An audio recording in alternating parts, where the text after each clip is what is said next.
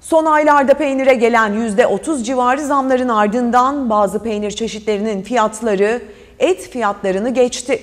Çanakkale Süt Üreticileri Birlik Başkanı Mehmet Özkurnaz, Aralık ayı sonu süt fiyatlarının litresi 10 liradan 14 liraya kadar yükseleceğini belirtirken vatandaşlar ise temel gıda ürünü olan peynir ve et almakta çok zorlandıklarını söylüyor. Son aylarda peynir fiyatlarına %30 civarı zam geldikten sonra bazı peynir çeşitlerinin fiyatları et fiyatlarını geçti. Son zamlardan sonra şarküterilerde kalite ve çeşidine göre eski kaşar 180, ezine inek peyniri 140, kelle peyniri 150, köy peyniri 90, çeçil 150 ve keçi peyniri 135 liradan satılıyor. Bazı kasaplarda ise dana kıyma 170, dana kuşbaşı 180, kuzu but 160, kuzu kol ise 150 liradan satışa sunuluyor. Çanakkale Süt Üreticileri Birlik Başkanı Mehmet Özkurnaz, Aralık ayı sonu süt fiyatlarının 10 liradan 14 liraya kadar yükseleceğini söyledi.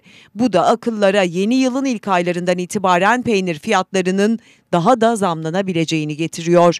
E, sütte, süt fiyatlarında baktığımızda e, aşırı girdi maliyetlerinin hayvan bakımlarında yem olsun, samanı ve kuru otları olsun e, aşırı şekilde fiyatlar yükseldi. Bu anlamda kooperatiflerimiz veya e, üyelerimiz, ortaklarımız e, ürettiği üründe e, herhangi bir para kazanamama durumu söz konusu oldu. Bu nedenle biz de sanayicilerle 4-5 kez bir araya gelerek toplantı yaptık. Süt fiyatında bir iyileşme istedik. E, bunun karşılığında süt, e, Ulusal Süt Konseyi her ne kadar 8,5 lira dediyse de süt fiyatı, litre fiyatını biz e, bir 9 lira 30 kuruş Kasım ayının 15'inden sonra da süt fiyatının net 10 liradan satılmasını e, olmasını arzu ettik. Ve bu e, talebimiz de anlayışla karşılandı. Sütün fiyatını 15 Kasım'dan itibaren Aralık sonuna kadar 10 e, liradan satışını gerçekleştiriyoruz.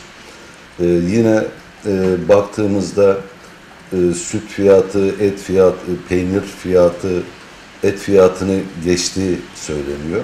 Et fiyatlarında her ne kadar 180 liralara, 160 liralara kıymaların satıldığı bir yerde peynir fiyatlarında sanayicimiz 150 liraya çıkardı.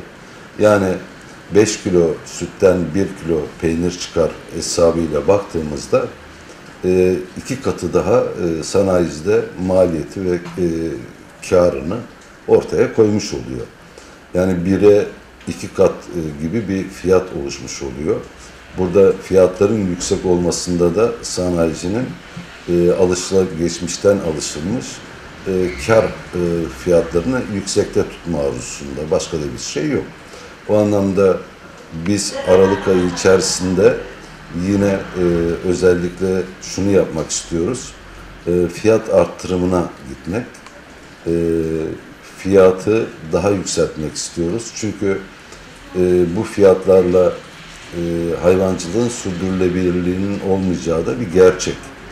E, burada şimdiki 2023 yılında asgari ücretlerin yükseleceğini, ve buna göre de fiyatlar e, kendini durmadan yükselme eğilimine gidiliyor ve dolayısıyla süt fiyatını da bunun gerisinde bırakmamamız gerekir. 13-14 lira civarında sütün olması da en doğru bir karardır diye değerlendiriyoruz.